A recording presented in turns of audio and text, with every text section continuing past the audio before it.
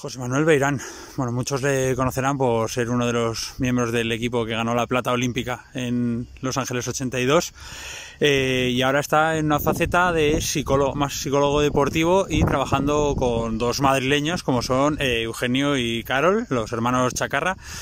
Bueno, lo primero, eh, muchas gracias por, atendernos y segundo, nos gustaría saber un poco cómo es la, función con ellos, cómo es esta labor de, de, psicología deportiva que, que, haces con los hermanos Chacarra.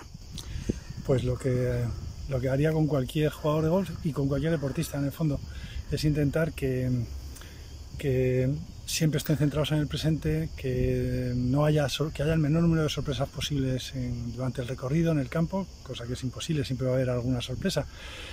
Aceptar los errores es otra cosa muy importante y más en un deporte como el golf en el que solo gana uno cada vez, eh, cada semana.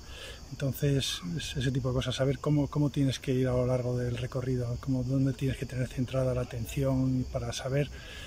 Cuando hablamos de concentración, no es hacer un esfuerzo por estar concentrado, sino saber dónde tenemos que tener la mente en cada momento. ¿Cómo ayuda el haber sido deportista profesional de élite para luego mm, saber llevar a los, a los jóvenes a, eso mismo? Que al fin y al cabo yo creo que lo que quieren, que llegar a ser pues los mejores en su, en su deporte. Sí, ayuda. Ayuda, tienes que conocer el deporte.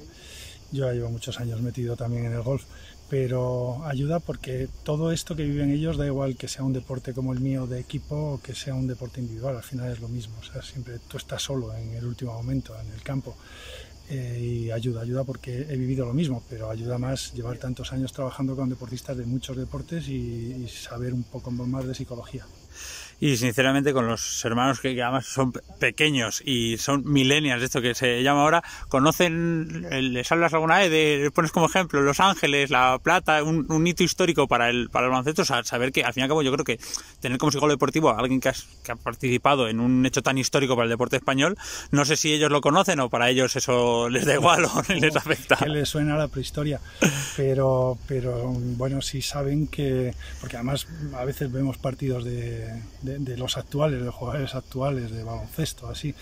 Y, bueno, mm, yo no les hablo de Los Ángeles. Alguna vez me preguntan alguno de ellos por, por, todo eso y por lo que vives. Ya te digo que es muy parecido, entonces eh, da igual un deporte que otro, o sea, las sensaciones son las mismas. Muy bien, José Manuel, pues muchísimas gracias y nada, que sigas trabajando también con ellos porque la verdad es que les va muy bien y seguro que tienes mucha culpa de ello. Disfruto mucho además con ellos, sí. Gracias. A vosotros.